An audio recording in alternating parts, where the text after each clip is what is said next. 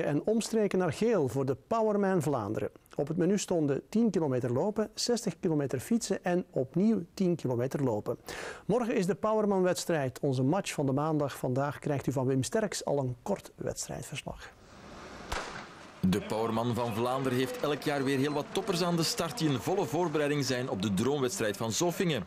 En de favorieten maken er van bij het eerste loopnummer een zware koers van. De Fransman Anthony Ledouin, winnaar in 2009 en drie Belgen zonderen zich af.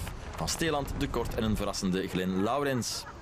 Anthony Ledouin maakt zich samen met Glen Laurens los van de andere twee. Zij springen op de fiets met een voorsprong van een goede 15 seconden. Laurens moet al snel afhaken en Ledouin gaat er alleen vandoor. Ook Van Steeland kan niet aanpikken bij onze zuiderbuur en de kort krijgt problemen met de remmen. Intussen nestelt de Deen Piestrup zich op de tweede plaats. En dat blijft zo bij het lopen. Ledouin won vorig seizoen het criterium van de Powerman, werd vorig jaar in geel vijfde, maar pakt nu weer de zege. Piestrup wordt tweede en Bech, nog een Deen, mag als derde het podium op. Van Steeland geeft op en zo wordt Wim de Kort eerste Belg en Belgisch kampioen op een knappe vijfde plek.